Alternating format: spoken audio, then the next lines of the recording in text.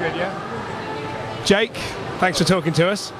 I'd like to ask you uh, what your opinion is of the game so far. This weekend has been brilliant. Sorry. This, this weekend has been awesome. Last night we thought we had it, and I suppose in a way we lost concentration. And all credit to you, you came back and you did us, and then a very good victory. Tonight I'm hoping we can return the compliment to you. Uh, so it was uh, quite a tense game last night, I understand. It was. It's uh, it was great. A lot of your fans came over, and it was really. They, they always make for a good atmosphere, you know. Well, there's a good turnout of MK fans as well tonight, so I'm, I'm uh, glad you're all making lots of noise.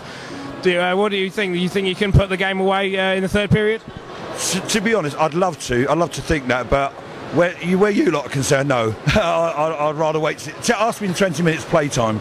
we, we intend to. Yeah. Is it quite a long day for you then to come up to Peterborough? It's probably one of the shortest road trips for at least. Well, I live in Northampton, but I've been to Milton Keynes to pick up people, you know. So yeah, it's not a long run, you know. It's it's always it's always worth it to come here anyway. We love coming here.